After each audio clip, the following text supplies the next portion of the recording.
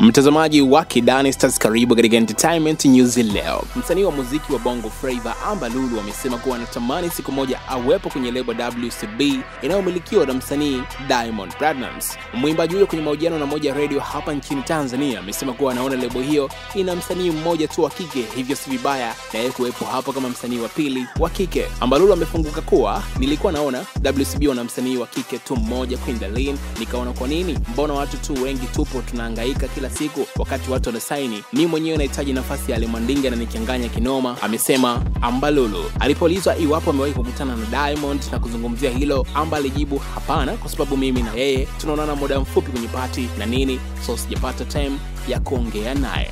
Bwana, ni majibu ya Ambalulu Lulu alipoulizwa kuwa anatamani kujiunga WCB Wasafi na Moja Radio hapa nchini Tanzania. Mtazamaji wa Kidani Stars, kumbuka kusubscribe kwenye channel hii hapa ya Kidani Stars kwa stori zote kali kubwa ambazo zinatufikia kutokea hapa, lakini kama umesubscribe basi kumbuka kutano ni kitufe chenye alama kengele karibu na neno subscribe ili upate notification pale tu video kali mpya itakapokuwa imewekwa katika channel hii hapa ya Kidani Stars.